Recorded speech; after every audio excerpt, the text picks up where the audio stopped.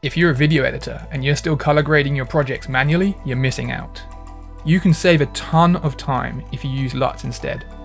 LUTs do the color grading for you, and you can apply them in just a few clicks.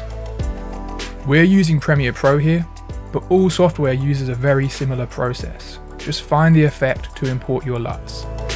And if you're still wondering what a LUT is, in simple terms, a LUT is a color preset for video editors that is compatible in nearly all major editing software like Premiere Pro, Final Cut Pro, DaVinci Resolve, Filmora, and much more.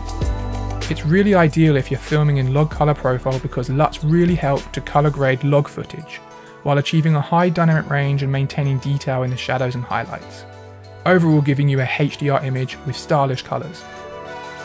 In all of our packs, we supply LUTs for standard Color Rec 709 and log for all major cameras. We began creating LUTs six years ago for ourselves as filmmakers, so we've had the experience on how to create the best LUTs for people who want to color grade their films, and more and more people are using them every single year. So I would highly recommend you head over to bouncecolor.com and see for yourself, and you'll probably be blown away by how much time you save using LUTs.